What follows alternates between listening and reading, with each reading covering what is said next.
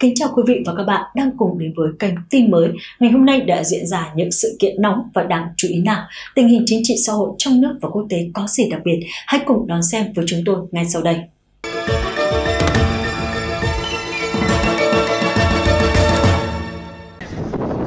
Thưa quý vị, thời tiết tại Trung Quốc hiện nay biến đổi vô cùng cực đoan và kỳ dị. Theo tờ báo địa phương cho biết, chứng kiến cảnh tượng hàng ngàn tia sét chớp giật liên hồi trong cơn mưa lớn ở đảo Hải Nam vào lúc 15 giờ chiều ngày hôm qua đã khiến ai chứng kiến đều run lên bần bật. Kinh hoàng hơn nữa khi những tia sét này bất ngờ chụp lại thành một tia sét khổng lồ, kéo dài từ trên trời đánh thẳng xuống những chiếc tàu hải giám mang số hiệu 46.604, khiến chiếc tàu bị nứt toạc, bốc cháy ngùn ngụt. Sự hợp lại của các tia sét tạo ra âm thanh và quả cầu lửa vô cùng lớn, làm cho người dân sống cách vị trí thuyền buồm đang neo đậu vài khối nhà phải giật mình, hoảng hốt. Chưa kịp hiểu chuyện gì đang xảy ra thì tàu khu trục hiện đại bậc nhất của Trung Quốc nhanh chóng bắt lửa và cháy như đốt.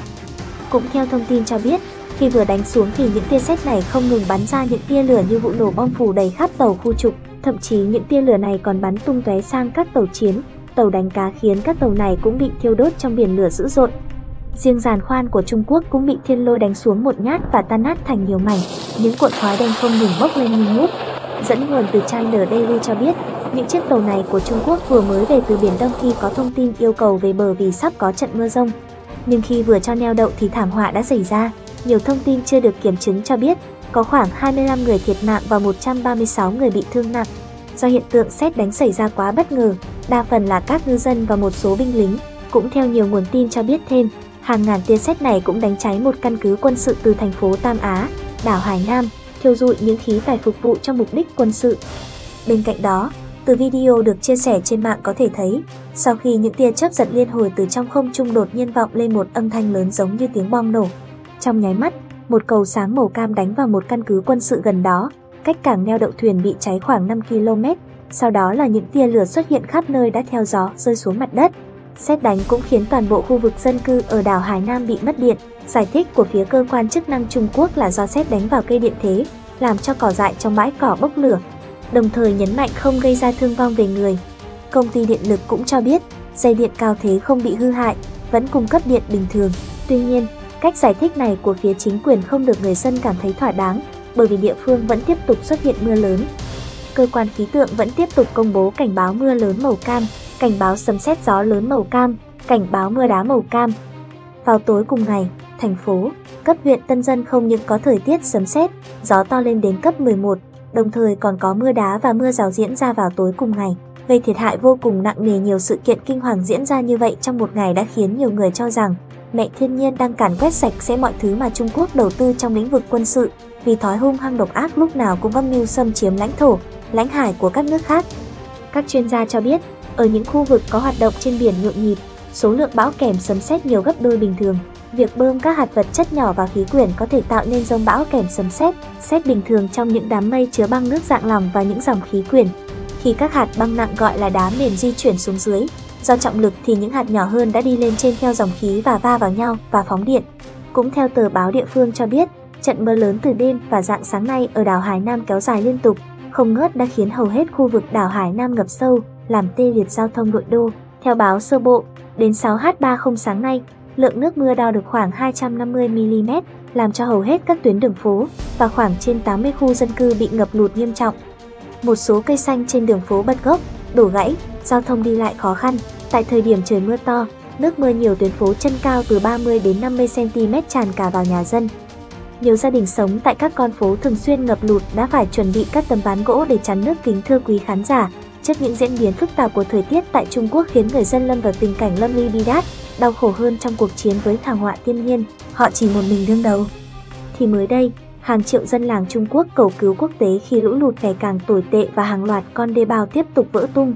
Nhưng chính quyền lặn mất tâm, mất dạng. Trong cuộc phỏng vấn qua điện thoại với Reuters, người dân ở các tỉnh Ngọc Lục, Sơn Đông, Tứ Xuyên, Quý Châu, Phúc Kiến đã nói rằng quê nhà của họ gần 3 ngày nay đã hoàn toàn bị nhấn chìm trong nước sau khi chính quyền xả nước lũ tại các sông hoặc do vỡ đê. Mặc dù vậy, chính quyền không hề có phương án hỗ trợ người dân thích hợp. Người dân cho biết, ngoài ra, việc không gia cố bờ kè và để mặc cho đê vỡ một cách tự nhiên, hoặc bằng cách phá vỡ đê thủ công, họ để mặc nước lũ từ sông Trường Giang tràn qua đây.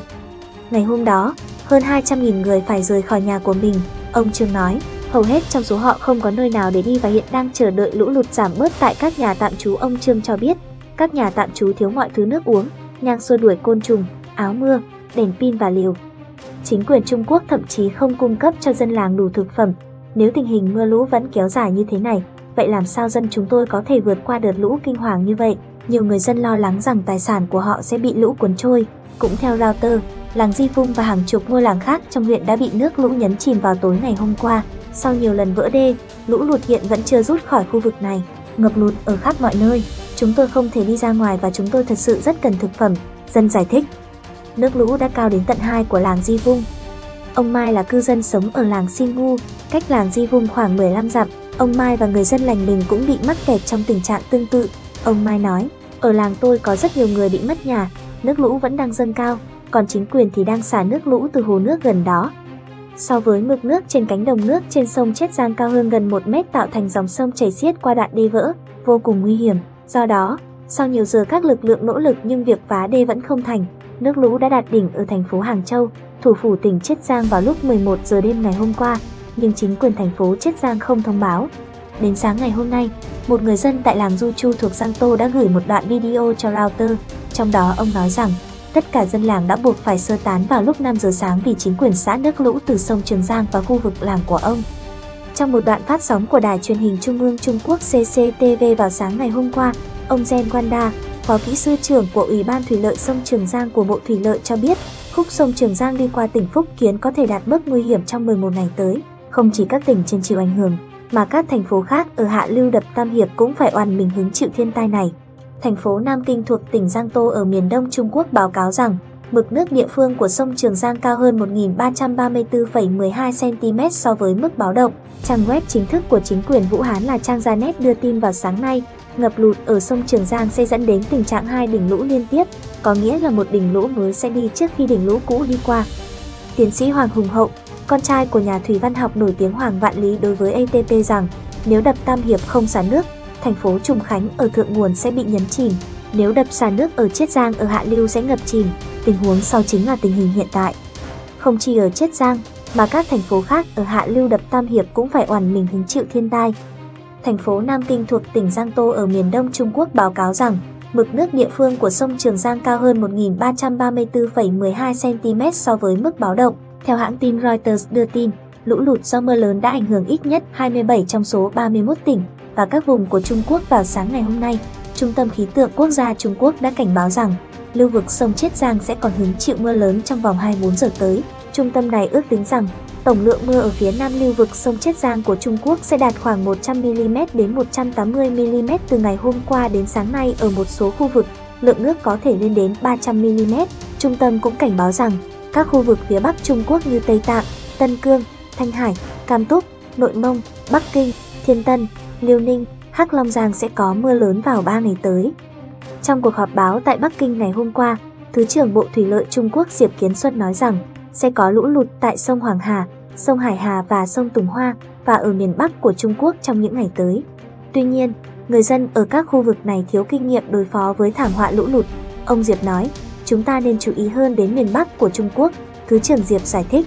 Lượng mưa ở khu vực sông Trường Giang và Thái Hồ mùa hè này sẽ cao gấp 1,5 lần đến 2,6 lần lượng mưa trong những năm trước. Chính quyền cần sơ tán người dân bị ảnh hưởng từ trước. Tuy nhiên, trong cuộc phỏng vấn và điện thoại với ABT, người dân ở các tỉnh Ngọc Lục hay An Huy, Hồ Bắc, Giang Tây đã nói rằng ngôi nhà của họ gần như hoàn toàn bị nhấn chìm trong nước sau khi chính quyền xã nước lũ tại các sông, hồ vỡ đê.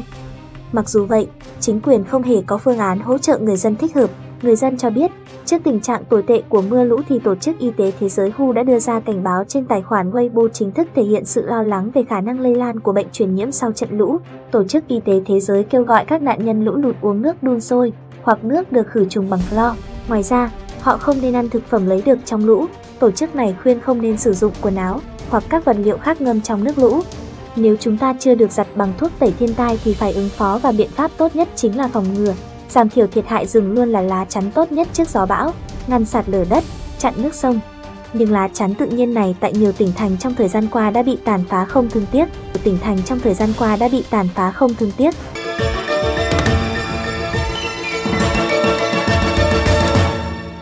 Vâng thưa quý vị, bản tin hôm nay tới đây là kết thúc. Chân thành cảm ơn quý vị và các bạn đã theo dõi bản tin của chúng tôi. Chúc quý vị và gia đình luôn mạnh khỏe, hạnh phúc. Nếu thấy hay thì hãy đăng ký kênh, sau đó nhấn biểu tượng chuông ở góc phải màn hình để không bỏ lỡ những tin tức mới nhất mà chúng tôi sẽ cập nhật. Còn bây giờ, xin chào và hẹn gặp lại.